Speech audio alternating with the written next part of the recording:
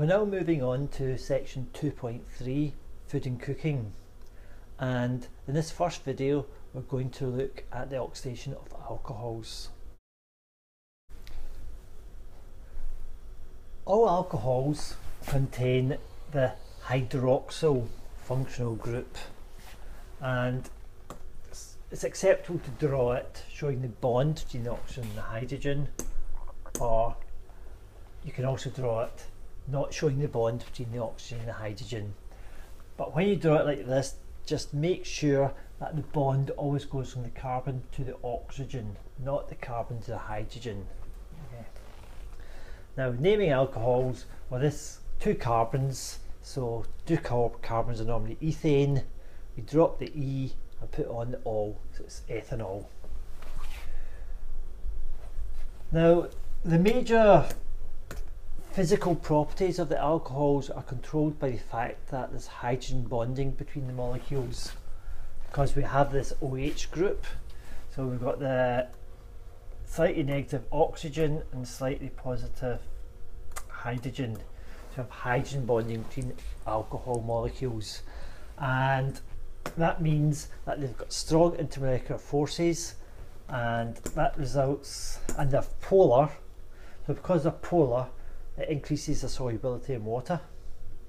Because you've got strong intermolecular forces, it increases the boiling points, the viscosity, and it decreases the volatility.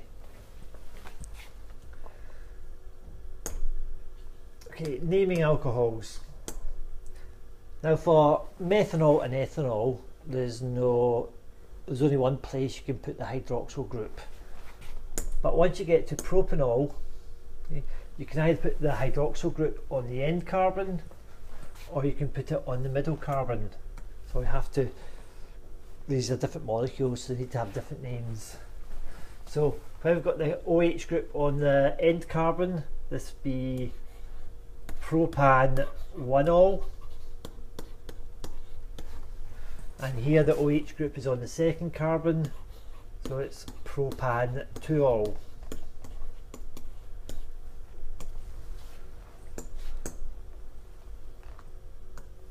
In this example, we've got a chain of four carbon atoms. We've got a methyl group and a hydroxyl group. If we number from this side, one, two, three, four, the hydroxyl group is on the second carbon, the methyl on the third. Whereas if we name from this side, the methyl is on the second carbon and the hydroxyl is on the third. Now because it's an alcohol, the position of the hydroxyl group takes precedence. So we number from the side, which gives us the smallest number for the hydroxyl group. So 1, 2, 3, 4. So the name of this molecule would be 3-methyl butan 2-ol. There's a tendency I see um, in people's work sometimes to call it but to all. Well, that's wrong, and you would not you'd lose the mark for doing that. So it's butane. Just drop the e, and then stick on the all or the to all in this case.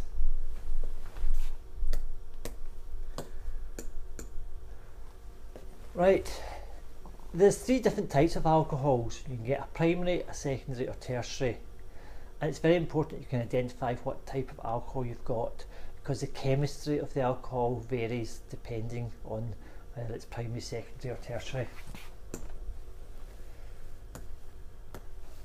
This is a primary alcohol because if you look at the carbon to which the OH is attached, it's only directly attached to one other carbon.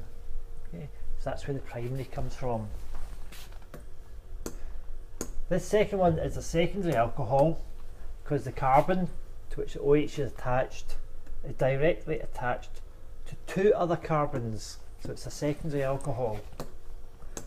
And this last one is a tertiary alcohol because the carbon to which the OH is attached is directly bonded to three other carbons.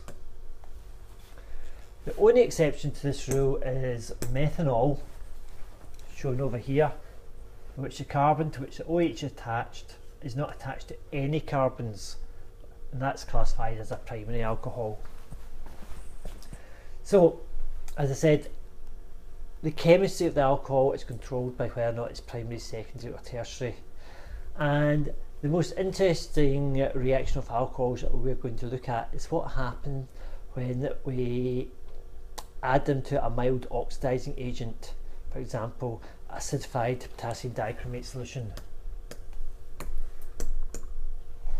So here's our acidified potassium dichromate solution.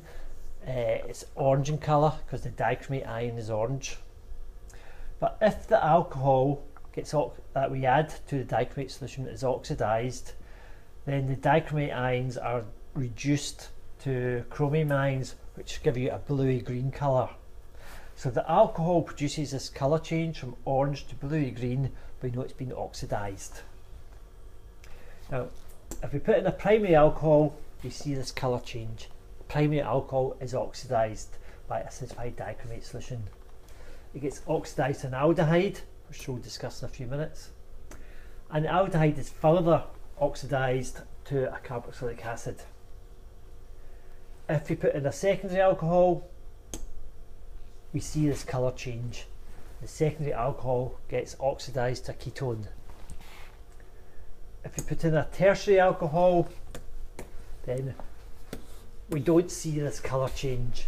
So tertiary alcohols do not get oxidized primary and secondary alcohols do.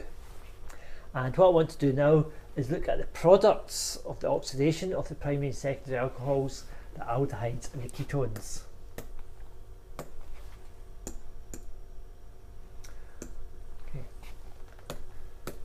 So here's a primary alcohol, propane 1-ol. So if we add this to a acidified dichromate solution, it gets oxidized and we get changes at this carbon here. So we have our three carbons. The first two with just the H's attached don't change. But this carbon loses the OH group and gets a double bond O. And this is an aldehyde. Whereas a propane 2-ol, again the changes take place to the carbon to which the OH is attached the other two carbons just stay as they were. And again, it loses the OH and forms a carbon double bond O. And this is a ketone. Now, aldehydes and ketones are quite similar. They both contain this carbonyl group, okay, called a carbonyl group, and they both contain it.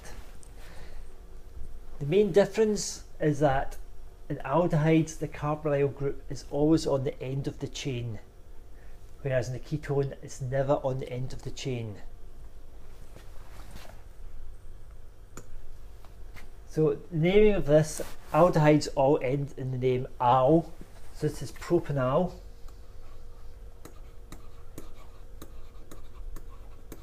And ketones end in on, so it's propan propanone or let's say propan because in the ketone depending how long the chain is you have to say where the carbon double bond is whereas in aldehyde you never have to say where the carbonyl group is because it's always by definition on the first carbon. So you should never write propan 1al propanal tells you the C double bond O is on the end carbon. Whereas with the ketone you need to say where the carbon double bond O is. As regards to the physical properties of aldehydes and ketones are very similar, but they're different from the alcohols because they've lost the hydrogen bonding. Uh, neither of these two molecules have an OH group anymore. So they have far lower boiling points and have higher volatility than the alcohols. They're isomers of each other, but they're not in the same homologous series because they have different chemical properties. It's easy to oxidize the aldehydes, but it's not easy to oxidize the ketones. So if you try to tell the difference between these two compounds, test it with various oxidizing agents. So for example, if you add them both to acidified dichromate solution. The aldehyde, you would get the colour change, the ketone, you wouldn't. And what you'd produce from the aldehyde is you turn it into a carboxylic acid. Again, it's on this carbon which the changes take place. So you get a C double bond OH group. The other two carbons don't really change. This oxidation can also be brought about by using Tollens, uh, sorry, Benedict's or Fehling solution. Uh, in this case you get the colour change from blue to brick red. This will only oxidise an aldehyde to a ketone. It won't oxidise an alcohol to an aldehyde or a, yeah, or an aldehyde, alcohol to a ketone. So this transformation here can brought, be brought about by acidified dichromate solution, Benedict's or Fehling solution, or Tollens reagent, which which case the colour change, if you remember, was from a colourless to a silver mirror being produced. Okay, let's look at uh, the products of the oxidation of the aldehydes, the carboxylic acid. Okay, so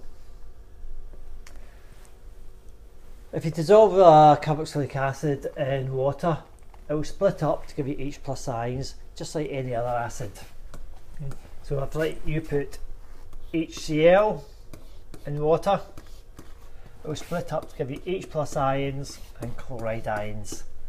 And it's those H plus ions which uh, gives it the properties of an acid.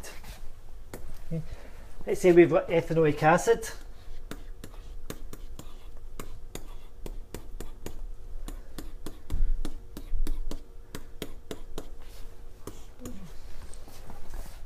When you put that in water, it splits up to give you an H plus ion. Question is, what hydrogen turns into the H plus ion? Well, it's this one here. It's uh, hydrogen on the carboxyl group. So it splits there to give you an H plus ion and leaving you the ethanoate ion, H3C, C double bond O, O minus. Yeah. So, carboxylic acids give you hydrogen ions just like any other acid. So it undergoes all the reactions that hydrochloric acid would undergo. So if you reacted it with a base like a metal hydroxide, you'd form a salt and water. If it was sodium hydroxide, the salt would be sodium ethanoate. It'd react with a metal oxide to give you salt plus water. React with a metal carbonate to give you a salt plus water plus carbon dioxide gas. So it does behave like other acids. Finally, I want to just review another way of recognising whether a reaction is oxidation or reduction. Okay. So here we have ethanol being oxidized to the aldehyde, ethanal, and being further oxidized to ethanoic acid. One way of determining that this is an oxidation reaction is by looking at the O to H ratio. So in ethanol,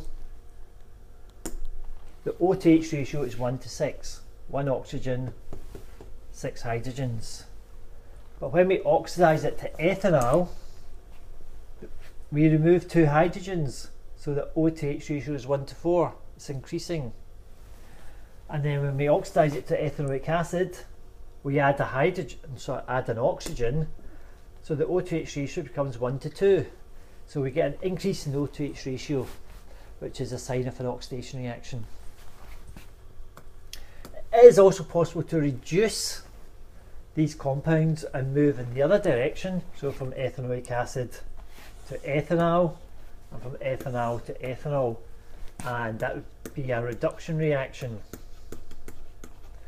And to carry out a reduction reaction the chemical that we need to use is lithium aluminium hydride which has got the chemical formula LiAlH4.